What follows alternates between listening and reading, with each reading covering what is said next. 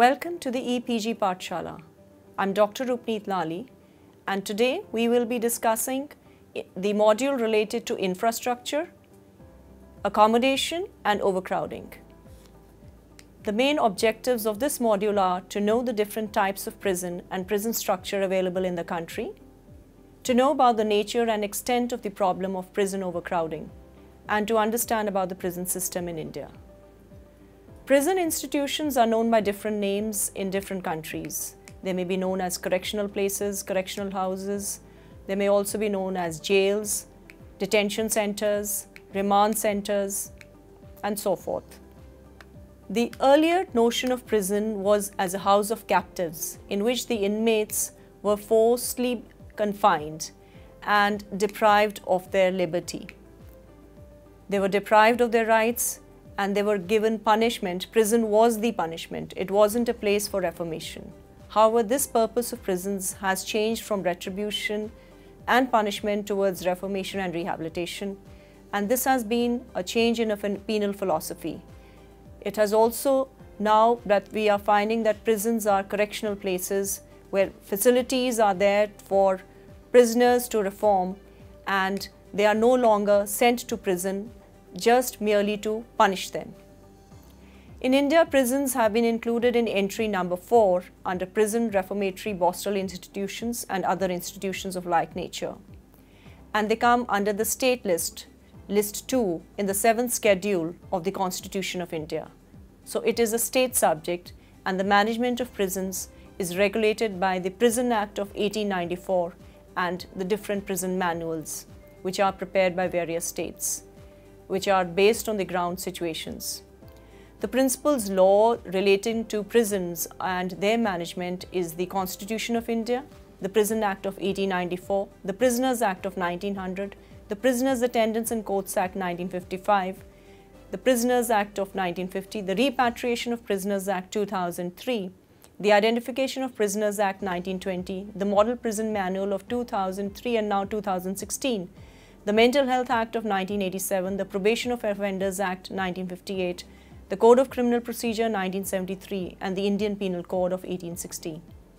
Each state has its own prison manual which specifies the rules and regulations for the administration and management of prisons. Many states have revised their prison manuals and they have emphasized on reformation and rehabilitation of offenders in society. Uh, the Prison Act of 1894 was a punitive act and the prisons now in different states and union territories have several tiers of jails. The most common and standard jail institutions which are in existence are the central prisons, the district prisons and the sub-jails. Uh, there are other uh, establishments like the women jails, the Borstal schools, the open jails and special jails. Maharashtra has the highest number of prisons in the country, uh, 154, followed by Tamil Nadu 137 and Rajasthan by 126 uh, whereas Arunachal Pradesh, which is a small state, has only two district prisons. Prison statistics tell us of 2015 that there are 1401 prisons of different types with an authorized capacity of 3 lakh and 66,000. Uh, in India, the central prisons, the district prisons and the women jails and the special jails uh, that are existing, uh, they, the focus is on making prisons a safe and a secure place. And prisoners are sent there by the courts after trial or during remand. And the reformation and rehabilitation task is now one important purpose of the prison department which is also now known as the Department of Correctional Administration in some states like West Bengal, Himachal Pradesh, Kerala, uh, which have also introduced a new act. The central jails house mainly the convicts. The district jails house mainly the under trials at the district level whereas the sub-jails now house only under trials at the subdivisional level. However, the distinction between central jails and district jails has almost vanished because you find that under trials and convicts uh, are housed together in one jail. And in bigger districts, sub-jails are open and they are at the subdivision level where they mainly have under trial prisoners. You also have revenue lockups in some state and civil prisons in use but these are not under the prison department, they are managed by the revenue authorities. And if we look at the central jails, the criteria for a jail to be categorized as a central jail, it differs from state to state. However, the common feature which is observed is that the prisoners who are sentenced to long-term prisoner, uh, where maybe imprisonment for life or more than two years of imprisonment, they are confined in the central prisons. And these prisons have a larger capacity in comparison to the other jails. And they, are, they will also have rehabilitation facilities. Madhya Pradesh has the highest number of central jails, uh, followed by Maharashtra, Punjab, Rajasthan and Tamil Nadu. And uh, other states also have central prisons. However, few of the states uh, will not have any central prison like uh, Andaman, Nicobar, Dadra, Daman, Haveli, Lakshadweep. They will not, they do not have any central jail in their territory. Uh, the capacity of prison inmates and in uh, these central jails in respect to the states indicates that uh, you know prison, states like Punjab will have uh, 15,000, Maharashtra around 14,000 and Tamil Nadu with again 14,000 and they are followed by other states like Rajasthan, uh, Jharkhand, Uttar Pradesh which have around 7, around nearly 8,000 as such and this, uh, these states have a huge capacity to house uh, prisoners in the district prison or in the central prison. Uh, the district jails, uh, they serve as the main prison in some of the states. So there will be some states which have more district jails than the central jails. And these are states like Uttar Pradesh which has 57 district prisons, district jails followed by Madhya Pradesh which has 39, Bihar has 31, Maharashtra has 28 and Haryana has 16 uh, so these district jails uh, in uh, they have a capacity part of uh, the accommodation part and the categorization can be seen from the prison statistics which are published by the NCRB every year and you get to know how many types of prisons are there and the accommodation that is available, what is the authorized capacity. Uh, Karnataka and Assam have the capacity of lodging a large number of inmates in their district jails. Now, generally district jails in some of the states have uh, comparatively uh, higher capacity than the central prisons as such. And uh, they will also have more capacity to have female inmates. So some uh, states will not have any women prison, but they will have the women inmates in the district prisons as such. Then we have the sub jails. Now these subjails are uh, prevalent in at the subdivision level. There are nine states which have comparatively higher number of subjails. Can you guess which are those states? Now these are set up at the lower formation. So states like Maharashtra has 100 subjails. Andhra is very close with 99 and Odisha with 73. Uh, number of states have these subjails, uh, whereas some states have no subjail at all. Can you guess which state? Well, Arunachal, Haryana, Manipur, Meghalaya, Mizoram, Chandigarh, Delhi have no sub-jail.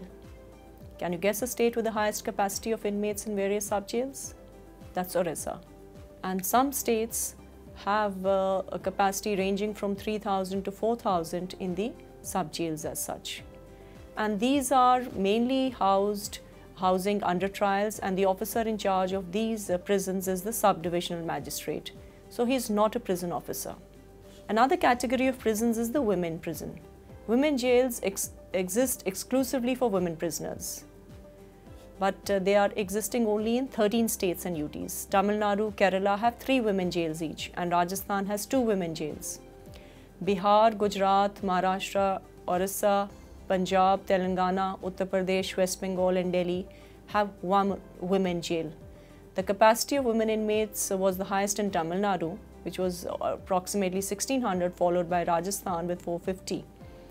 And you have Delhi with 400 and Punjab with 320 uh, as the authorized capacity. So these women jails house only the women and mainly it is the women convicts who will be uh, there.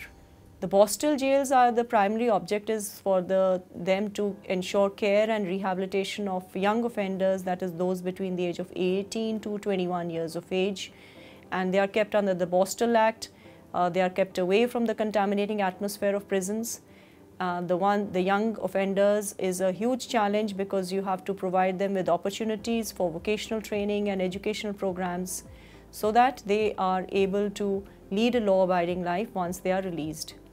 There are some states uh, which like Tamil Nadu and uh, Himachal Pradesh, Kerala, Maharashtra, Punjab which have uh, one Borstal jail as such. There will be some states which will have no Borstal school and Tamil Nadu had the highest capacity for keeping the uh, inmates in Borstal prisons, Borstal jail, followed by Punjab, which was 500 capacity. So these Borstal institutions are again managed by the prison staff and they are set up under a special act as such. Though one would say, if we look at critically, that they are mainly having more of uh, more male inmates and no female inmate. Uh, there is no Borstal school in any of the union territories. And then we have another category which is the open jails. What are the open jails? Prisoners who are normally life convicts who have had a good behavior satisfying certain norms prescribed under the prison rules, they are admitted to the open prisons with minimum security and they are mainly engaged in agriculture activities. So 17 states have reported about the functioning of open jails in their jurisdiction. Rajasthan has the highest number of open prisons, that is 29, and they know, call it as open camps. Maharashtra has 13, and Kerala and Tamil Nadu have 3 each. Gujarat and West Bengal have 2 open prisons. There are some states which have one open prison as such, and they are like uh, Karnataka, Madhya Pradesh, Punjab, Telangana, and uh, some states uh, will not have any open prison also. There are some states which have an exclusively for women prisoners like Maharashtra and Kerala now. And they are separated from the other prisoners. Another category is special jail. Special jail means a jail which is provided for a particular class of prisoners who are broadly as follows. Prisoners who have committed serious violations of prison discipline. Prisoners showing tendencies towards violence and aggression and prisoners who are difficult cases who are more of habitual offenders and difficult discipline cases from a group of professional organized criminals. And these special jails are existing in 14 states and union territories having special jails. Kerala has the highest number of special jails, it has 16. And Tamil Nadu has 5, Telangana has 4, and West Bengal has 3 special jails as such. And Puducherry has 2 jails each. Now, as far as the available capacity in these jails is concerned, the highest capacity for keeping prisoners in these special jails was in Bihar, followed by Odisha and Kerala. The provision for keeping female prisoners in these special jails is, uh, was available in Tamil Nadu, in West Bengal, in Gujarat, though the number is limited to approximately 80 and in some places as less as 12 or 16 each as such. The other type of uh, jails may also be there and they are existing beside the jails discussed and only three states uh, namely Kerala, Karnataka and Maharashtra they have one other category of jail in their jurisdiction and the capacity was the highest in Karnataka which was 250 with Kerala 142 and Maharashtra 28. How do we get to know this information? This is available in the prison statistics which are published by the NCRB each year. There are 1400 prisons with a 3 lakh, uh, more than 3 lakh capacity and against the authorized capacity, the actual prison population in India was found to be approximately 4 lakh 20,000 which is 114.4% of the occupancy rate. And some of the prisons in fact are very old, they are built during the British period and uh, they do not meet the current requirements of minimum standards as laid down in the national and international norms and you have uh, them some of them which are being constructed more than a, a hundred years old and the living conditions uh, inside such prisons they need to be improved. Uh, if we look at the authorized capacity and the prevalent capacity, uh, we find that there are some prisons which, uh, a number of prisons we have seen an increase in capacity but also an increase in numbers. And overcrowding is a major challenge to prison administration because it results in a security problem, it will result in a number of safety issues, health and hygiene get affected, obviously in a prison which is overcrowded is not able to cater to all the prisoners. And in fact in some prisons you find that prisoners are taking uh, turns to sleep because the prison is so overcrowded one barrack will be housing if let's say uh, 100 prisoners they will not have place to move and it may lead to a serious uh, problem in terms of prisoner violence. Uh, we find that uh, prison overcrowding is a major cause of uh, human rights violation in the prisons because the standards are not met and health and sanitation also gets affected. Now, when do we say that a prison is overcrowded? Overcrowding is a situation in which more inmates are staying than the sanctioned strength. Let's say a prison has a capacity of 500 inmates and you have 1000 prisoners staying there. So that means an overcapacity, there is, the prison is overcrowded to double the extent. And this we have seen is uh, one of the biggest challenges which we are facing because it results in uh, lack of privacy, lack of hygiene, and even lack of sleep. Uh, keeping this uh, that the human rights of prisoners that uh, you need to have basic human maintain human dignity inside the prison that uh, steps should be taken so that reasonable space and facilities are available to the prisoners who are lodged inside the prison and for this purpose special attention is now being given to the modernization of jails. More funds are being allocated to increase the infrastructure in prisons. Uh, occupancy rate. Occupancy rate is defined as the number of inmates staying in jails against the authorized capacity for 100 inmates. In other words, if occupancy rate of any jail is 100, that means the number of inmates are as per the authorized capacity of the jail. Overcrowding in the jail means occupancy rate is more than 100. Now, you will see that occupancy rate in 2015 has increased slightly from the previous years and despite that the fact that the authorized capacity has increased. We have had uh, more prisons coming up, new prisons have been made but still the overcrowding problem remains. So, the total prison population it consists of one third convicts and two third are the under trials, the unsentenced population. Uh, so, one of the reasons that overcrowding is still continuing is that because we are still having 66 to 70 percent of the prison population consisting of under trials rather than convicts. And if we look at sex-wise composition, 96 percent, 95.6 were male and 4.4 percent were females, which shows that we have a less female population in the country. And uh, women uh, prisoners proportion has remained between 4 to 5 percent since the last almost a decade. But their numbers may be less, but the uh, issues of women prisoners are highly significant. The situation is that the facilities and the infrastructures must meet the gender specific uh, requirements and these have been specified in the Bangkok rules of United Nations which have uh, looked at what the minimum standards are for the treatment of women prisoners. Uh, a number of issues, in fact, we find that in some of the prisons, not every prison uh, will be overcrowded. Maybe one prison is overcrowded or maybe one barrack is more overcrowded than the other. So let's say a prison will have uh, will not be overcrowded, but the women's barrack, which has a capacity of 30 inmates, will have women almost 60 or 70 women inmates. So that barrack is going to be overcrowded. And this issue is something uh, which is a serious challenge to the prison administration of the country because uh, then the situation becomes that the situation is almost unlivable prison conditions. And we find that uh, the capacity has increased but uh, they, the highest overcrowding in fact has continued to remain uh, in some of the states like Chhattisgarh. Chhattisgarh is a state which has an overcrowding of almost 234 percent. Delhi, despite the number of uh, uh, new prisons that have been made, has an overcrowding of 226 percent. So, which is highly, highly uh, more than what the authorized capacity is. Meghalaya has 177% of overcrowding. UP, Uttar Pradesh have more than 150% uh, of overcrowding. Uh, some of the states like even Uttarakhand because they have not uh, really made new prisons so they have 113 130% uh, overcrowding. Punjab has 117.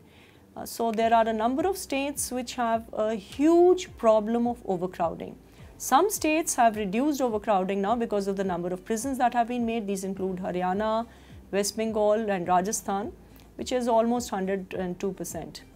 And uh, a number of uh, them, because they have added on, made new prisons there, they have less problem of overcrowding. Every state does not have a women prison, so sometimes you'll find that the women prison is more overcrowded.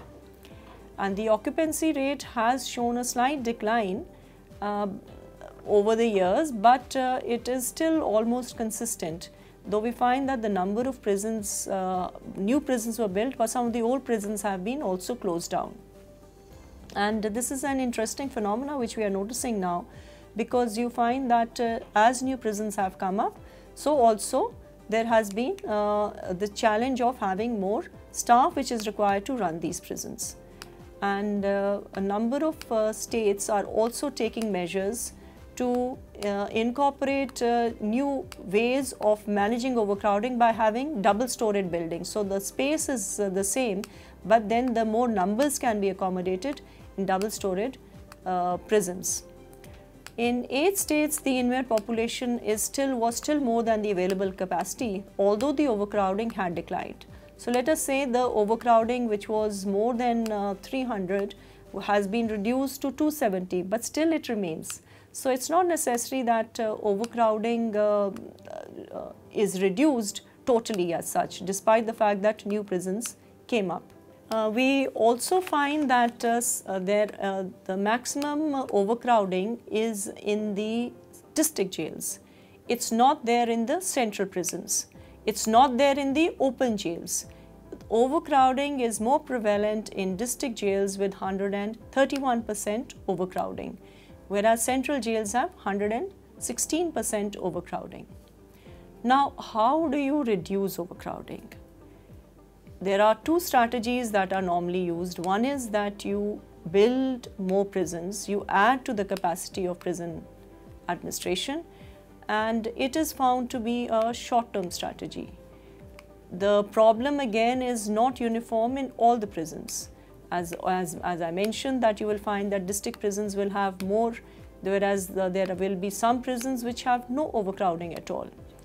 And we also find that 54% uh, of prisoners who are sentenced are those who are sentenced for life term imprisonment. And you have 12% who are sentenced for a long term of 10 to 13 years. And then you have a number which is for 9.5% who are those who are sentenced to 7 to 9 years. Uh, if we look at the imprisonment rate in our country, in India, the imprisonment rate is very low. It's 32 per 1 lakh of the population. Can you uh, guess which country has the highest rate of imprisonment? Uh, it is countries like United States, which had uh, an imprisonment rate of 720, which has now fallen to 666. Russia has 430 uh, per 1 lakh population. So these are the countries which have a high incarceration rate, uh, though they may not be really overcrowded, but the, there is every possibility that uh, this overcrowding is there. The, this kind of uh, high incarceration rate is also reflecting the penal philosophy in terms of having more laws which are specifying a higher incarceration. Let's say the law of three strikes and you're out, the California state had a high overcrowding because of this aspect that more persons were going inside the prison. So the strategy of having building more prisons, adding to the accommodation does not reduce the overcrowding unless and until a strategy is made to reduce the numbers going inside the prison and that we call as the front end strategy which is to reduce the number of persons through having an alternatives to imprisonment. To have uh, prison buildings and to, because as I mentioned earlier, that we have a number of uh, prisons which were made during the British era and they, need, they were old prisons. We had the government of India came up with a modernization scheme where the central government uh, invested money in terms of improving the prison conditions uh, the central government under the non-plan scheme of modernization of prisons, which had a total outlay of 1800 crore, and uh, the central government shared 75% uh, of the cost, 25% of the cost was to be borne by the state government in terms of looking at uh, some aspects which was to decongest the jails. One was through construction of new prisons. Second was expand the capacity of the existing prisons. Existing prisons which are already there could add more barracks and to improve the living condition of prisoners and also the prison staff. It is important because the same old building will be there housing the inmates and also you will have the prison staff living in the same premises. And sometimes those barracks are where the staff is living are very really unlivable. So this scheme of modernization, uh, it was thought that it will add on to 125 new prisons would come up and uh, approximately 1579 additional uh, barracks would be made in the existing prisons and new staff quarters to the extent of almost uh, 8500 prison staff quarters were expected to be constructed. They have been constructed by the state governments. A number of uh, states took benefit of this modernization scheme. Are, uh, in fact, uh, they are pressing the central government to continue the scheme into the second phase as well. Apart from this, we have the Finance Commission of India, which has also provided funds to certain states to construct new prisons and upgrade the infrastructure. And the 13th Finance Commission has uh, also granted uh, rupees uh, 609 crore over a period uh, from 2011 to 2015 for eight states. And these are the states which gave in their plans to the Commission for better infrastructure.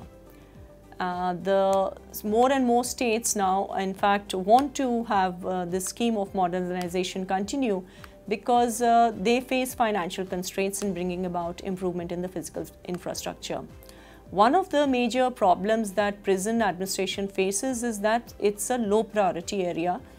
Uh, the state government does not really uh, consider much in investment in prisons because it's thought to be a dead-end investment uh, without realizing that prisons reflect uh, the uh, way we deal with prisons is a reflection of our society.